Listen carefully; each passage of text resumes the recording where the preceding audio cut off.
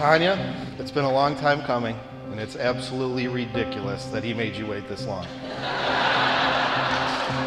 Steady through the highs and lows Closer than your skin and bones I'll be here for you When you spend time with Troy and Tonia, it does not take long to see the genuine connection that they have to each other. They always have each other's back, and they make you feel like they have yours as well. Yeah. That's how we're having a broken home anymore.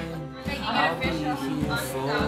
We're doing the name change and everything. I'll be here I was lucky enough to watch her grow and become a beautiful lady she is today. She is my pride. She is my princess. She is my everything. Known Tonia for essentially half of her lifetime now. And it has been a real honor for me to have someone love me the way that she has, for me to be able to love her the way that I do.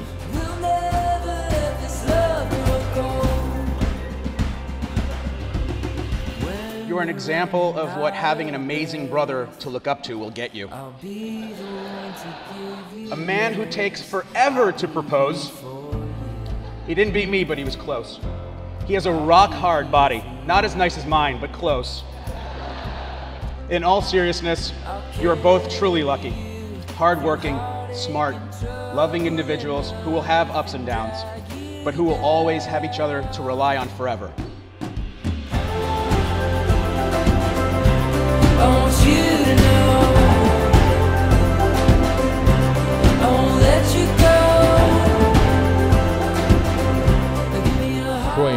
Have been blessed with loving parents, loving grandparents, loving siblings, loving friends. For all of us are the people who have loved them during their life thus far. And we will continue to love them and to support them as they enter into the sacrament of marriage. Ever since they met in college, their love began, and that love has grown stronger with the passing of time.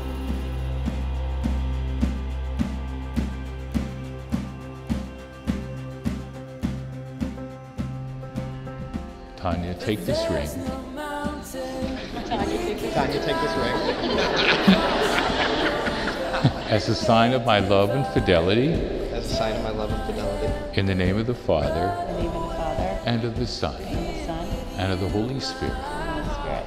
Amen. There's no mountain we can't climb He started a few things at an age earlier than he probably should have. But little did we know at that time, it was all for training for his Polish relatives.